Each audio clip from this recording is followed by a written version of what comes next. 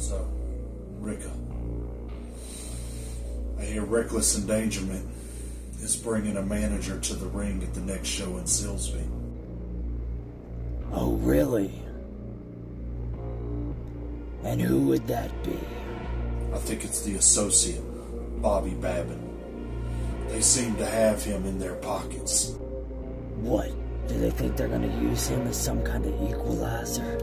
Yeah, I think it would be a good idea for us to bring someone as well. Someone who'll stand with the family. Someone who'll have our backs if Bobby decides to put his nose where it don't belong. Hmm. You have any ideas of who would be willing to step in and join the family to have our backs? Oh, yes. I know just the person to stand with the family. In fact, he is family. And I know he'll do everything in his power to protect everything that we have built. it's gonna take a little work,